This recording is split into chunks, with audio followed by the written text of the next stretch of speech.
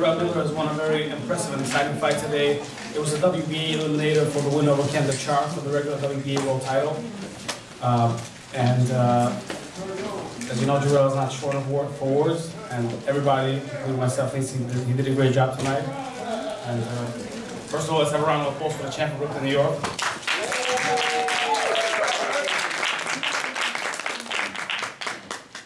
Go 12 rounds with a smile like that. man. That boy was tough. Uh, I ain't to speak now. Um, I never, I know I always speak from the mind and the heart, man. That boy was tough. But like I said before, I prepared for 12 rounds. Um, I felt a lot better than I did my last fight.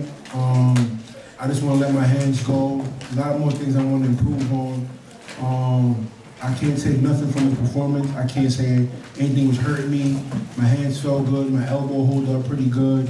Uh, my win was pretty good. For you know, people doubt me that I couldn't be through 12 rounds for a 300 pound guy, but I proved to you. I threw nearly 800 punches in 12 rounds, you know, for heavyweight. Uh, I felt good. He come with a couple good shots.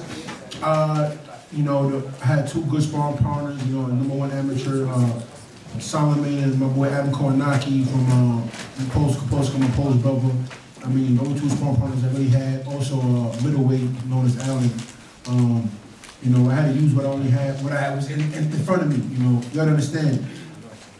These guys are calling me out that I'm fighting. Know, there's nobody else that wants to fight me. You know, even when I fought Joe Washington, he had a full camp. He came on a Klitschko camp, training for Vladimir. Training with Vladimir to help AJ. You know, he had a full camp to get ready for me instead of him fighting, you know, had a three weeks notice when he fought, you know, Wilder. You know, and went five rounds with Wilder, giving him help, but I beat him up every round. You got Mariusz Wach, he fought, fought Povetkin on like two, three weeks notice, you know, and um, gave Povetkin run for his money, and I stopped him earlier. Then we have this guy here, Johann Duhaupas, tough brother. He, only, he took the fight with Povetkin on 48 hours notice. 48 hours notice, he took a, a title eliminator against a guy that was caught on PEDs and still went out there and gave his best even though he got stopped by Povetkin on 40 hours notice. These guys I'm fighting have full camps, eight weeks, uh, 12 weeks, full camps. They're getting ready for me, and I'm still making it look pretty good. You know, so I want guys, you know, give me my respect. You know, I'm 300 pounds and I'm moving, I'm doing what I'm doing, I'm having fun in there. So like I said, if AJ want to come to Brooklyn, I will gladly accept, and I will run him in the ground. His conditioning ain't better than mine, his hand movement ain't better than mine, and I got power. You know what I mean? I got power, trust me, it's there. But some guys, you just can't get out the way you want, and you got to go back to boxing. That's what boxing about, you know, it's getting win, and um, having fun. You know, that's what can I say, you know, like I said, I'm not, I don't got no jokes to crack out right now, you know, but uh, Anthony G. and Josh will come get this work all day. Ready to toast English muffin. We cook french fries tonight, so. English muffins next time. uh, man, this, uh, shout out to my team, uh, my coaches, uh, Harry, Sosa, uh, my cousin Jamal, Mike on my team, uh, you know, all my boys that came out, you know, can watch my back. You know, a lot of things been going on rough in New York lately, so and I wasn't taking no chances. And I brought my squad out with me, man, because I'm not risking nothing. I worked too hard to get here for somebody else's mistake, you know. So I'm glad for all my boys that came out with me, man, and uh, you know, Fab, Ed, uh, big cousin the back, you know, looking like he's the middle linebacker on defense. You think I'm big, he's big. See him right there, the guy with Drake, he's. Imagine him running into you. So thanks everybody for coming up, man. Uh, just dope. Any questions? You mentioned before that you wanted this fight to go four to five rounds and you wanted a 19th knockout. Do you feel you missed any opportunities for a knockout? Oh yeah, most definitely. I think I, I think what it was, um, I hit him with some really good body shots. And I kind of took my foot off the gas because I wasn't too sure if he was hurt, but it was time I hit him with a body shot and go, ugh. And he was, people tell me he's icing his body in the middle of the rounds. But like I said before, you know, he's a tough guy. Um, every time I relax and focus and use my jab, I was catching him clean. The body shots were there. But like I said, it's an improvement. It's a better improvement than my last fight. And um, I'm still 20 pounds bigger, and I'm only, only gonna get better. It's only gonna get better, you know. And he's a tough guy, durable guy, and um, you know, win 12 rounds. I needed 12 rounds though. Show people I can go 12 rounds. Coach Anthony here behind the gloves. Uh, congratulations on your, on your performance. Now, I got a question from a strategic standpoint. Mm. I seen you was throwing the right hand to the body a lot. Mm. I don't know if the game plan was to throw the right hand to the body and get him to drop that left elbow so you could come with the overhand right. I seen Correct. you attempt that a few times. Correct. I got two questions, so I'll just let you go ahead and answer that. Um, the main thing was we worked. We went back to the basics in boxing: jabs to the body, fake jabs, left hooks, right hand to the body, touching, touching, breaking, bring his hands down. And a couple of times it worked. Um, like I said, I think I need to go back and get my footwork back a little faster. My footwork was there, but it kind of um, slowed down as rounds went. So I said, like I said before, it's a lot better than my last performance. Make this go back to the drawing board and continue off of those things I had some really good sparring. Uh, my jab was on point better than the last fight. So it's going back to the basics and having fun with it, man. Like I said, this fight, I use it fun fight for me. It was fun. Dwight was gave me 12 rounds that I needed to see. I, I know I can go anyway, but it showed the fans. And I got good body shots. Said, it's all about improvement. And I, I- I know he's, he's a tough opponent, and I'm nowhere discouraged. I know a lot of guys can't go 12 rounds with him and look that good. And he had a full camp. Full camp, not no 48 hours, not no full weeks like a Deontay fight, a full camp, over 10 weeks. And, and, and, that's what, that was another point. You looked very good in the first couple rounds. It looked hmm. like in the middle rounds you started to get a little gassed. I don't know if you was gassed, but it hmm. kind of looked like you were getting caught a little bit with uppercuts and shots that you weren't getting touched with in the first couple rounds. Correct. Were you getting tired? No, I wasn't getting tired. What happened was a little frustration because I know I wanted to get him out there kind of bad, and I know I hurt him, but I just couldn't put the combination I want together. So you know, let me reset, give myself like a half round around, breathe, look for the open, let me see what I got, and it's all about it's all about you know adjusting on the fly. So I gave myself round to adjust. You know, let me see what I got in front of me, and then from there, my corner teams go back to the jab. You can't get them out there, they put pressure on them and back them up and get these rounds in. That's what happened. This I just on the fly. Instead of going for the knockout, just add accumulation of punches and beat them up, make, make them curve. Uh, so my last question is who do you want next, man? I mean, Um, listen, like I said before, you know, Eddie Hearns made promises, com- confidence to other fighters. Um, let's get it straight. I am not signed to with Matchroom Boxing and Eddie Hearns. Let's get that clarified for the 100 times. If another reporter reports that, I'm gonna come see you personally. I am have my own promotional company. I'm my own boss. I'm Big Baby Promotions, and this is my partner, Salita Promotions. Okay, Team Hummins and cheeseburgers all day. Remember that. Okay. Um, we have a deal with HBO, and it was in their interest to help build my profile on an Eddie Hearn undercard, and that's what you have here. Uh, we are not signed with Eddie Hearn. We have our own thing going on, but it was in the best interest that we help going to Eddie Hearn card help build my profile. That's all that is. Um, of course, we want the AJ fight. You know, Eddie Hearn's been talking a lot that AJ's gonna come to Brooklyn, he's gonna do this and do that. I'm not gonna sit here and get on my knees and beg. That's not New Yorkers. That's not, we work hard, we earn our shot. If you're gonna bring New York, I would gladly bust his behind. If not, we have Chagayev in Germany, who has no TV, but he has a belt.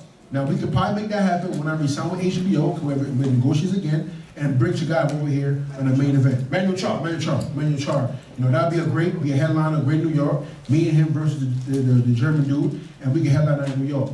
You know, that'd be my next best option if Eddie Hearn doesn't want to bring Eddie Joshua. I'm not gonna beg for it. I'm here. If you're gonna put his money where his mouth is, make it happen. If not, you're not gonna sell me a dream like you did Ortiz and Dillian Whyte and all the other guys. I'm not gonna do that. Cool? Good evening. Um, congratulations on your victory. Um, my name is Yang, uh, representing Wild Mindset. Um, coming into the fight, you was 304 pounds. Um, do you think going into fighting Joshua or Deontay Wilder, do you think you can come in at that weight and be effective? Um, like I said before, my main thing is adjusting and see how camp goes. Am I promised to come 304 pounds? I don't think so, because I'm constantly training. Like I said, my main focus for this fight was bulking back up, getting my strength back, and feeling comfortable with my weight. So we got up pretty high, pretty fast, and I had to bring it down gradually, not killing myself trying to make a weight. As you can see, my performance a lot better at 304 and 280 something. So I said, I'm, right back in the gym Monday. We hitting weights, you know what I mean? It's, still your set. That's how we say in the gym, man. By Monday, I'm back on the weight training, you know what I mean? So uh, we're gonna continue training, still keep my cardio, still do my kickboxing, my MMA, and um, just bring the weight down gradually and try to keep my strength, you know. I got time, so I'm gonna go back to the footage, look at it, see what I need to improve on. And to me, I think I think the main thing for me is footwork. I think once my feet keep moving and my head is moving, I beat every one of these guys. The minute I stand still, if you notice, a couple times he caught me some good shots because I stood, I stood there and didn't pop my jab. Like I said before, I took 11 months off. I took three fights against good guys. You know, good guys. So to make this going back to the drawing board, look at the footage, and um, put some James Brown on and get cooking. Any further questions? Who's next? you mentioned MMA training. What are you doing with the MMA training? Um, as you know, my, my background is uh, is Muay Thai kickboxing. Um, there's a great martial arts school out in um in, in Florida where I'm looking to um get a push out there, man. There's a lot of good MMA fighters out there. Henri Hooft, um, Hard Knocks 360. A lot of big guys out there in that gym. You know, Tyrone Spong, Rashad Evans, Andy Rumble Johnson, um, the Menace, Bermudez. Black uh, the, the, the, used to be Blackzilians now. They have their own thing, the Hard Knocks 365, which is Henri Hooft. And even though it's hard to get boxing sparring, a lot of MMA guys bring it. They have this warrior mentality, even though a boxer, they bring it, you know. So it's a great camaraderie that I grew up around with martial arts and Muay Thai, where everybody try to help each other. And it's a different vibe, you know. New York, this weather in New York, we all know suck. You know, so I had to get out in Florida, and that's why I want to be and be able to train all year round and go outside of it and, and just have fun, you know. So my next thing is actually opening a camp in Belize, you know, where I go back to my, my home country and just train in the sun and run the beach and drink coconut water, you know. So that's not- fighting MMA? Um, no, I don't. I don't have no plans to fight MMA right now. Like I said, I'm number two, number one contender after this fight for sure. So I think going to MMA would actually hurt my profile for me to go and do that sport. Now, if I'm when I'm world champion and I beat a couple guys up, we got a hundred million dollar contract by Bellator UFC, then that makes sense, you know. But right now, it wouldn't make sense for me to go do MMA. Right here. Brother Jarrell, this is uh, James Bell here from Boxing Source. What's good? I'm good, man. I'm good. Just wanted to ask a question about your uh, overall stamina for this particular fight. I mean, of course, it was mentioned before that you came in at 304.4 pounds. But how did you feel inside the ring uh, there, like going into round six, seven, and then over to round 12? Um, my stamina felt overall good. Like I said before, there was times where I feel like I clicked with some good shots, where I had to kind of, you know, adjust and reevaluate myself, and just take a little time to see what I got in front of me. You know, it wasn't that I was exhausted. It was just that I didn't want to get clipped, clipped with kind of shots. I wanted to just kind of relax, get my breathing back, let's figure out exactly what I have in front of me, and that's what I did. I think between sixth, seventh, and eighth round, I kind of got hit with a couple shots, but then I kind of readjusted myself. You know, but my stamina felt good. Like I said, we sparring 12, 15 rounds in the gym with guys that's undefeated. You know what I mean? Like all these guys have sparring partners, but they have seven, eight losses. It's a lot different when you spar a guy that have losses. Like guys undefeated, like Adam Kownacki, number one amateur in, in, in the country. These guys are trying to book my butt, but these are my boys. So I know when I'm doing something wrong, they're gonna tell me how to fix it. So like my stamina was good, and I said the main thing is is being able to be tired and be able to think. You know, a lot of guys get tired and can't think. They start throwing wild shots like Deontay Wilder or AJ who just sit there and then the referee stop a fight when he land one or two shots. Nah, we ain't doing that. Everything you see every fight I've had so far last year, I had to work to get these wins. The Gerald Washington fight. How was that fight a draw till I stopped him? Because he's an Al Haymon got an Al Haymon card. I beat his behind every round, but it was a draw to the point I stopped him. Mariusz Wach, another tough guy. Beat his butt, stopped him in nine. So I had to work for everything I got so far, man. Cool. Thanks, Joe. Cheeseburger!